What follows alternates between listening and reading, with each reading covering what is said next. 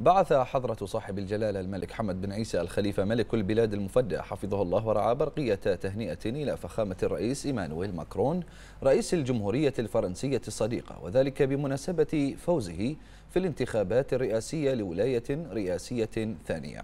وعرب جلالته في البرقية عن خالص التهاني متمنيا لفخامته كل التوفيق والسداد في القيام بمهام عمله الرئاسي لتحقيق طموحات وتطلعات الشعب الفرنسي الصديق في تحقيق المزيد من التقدم والتطور والازدهار.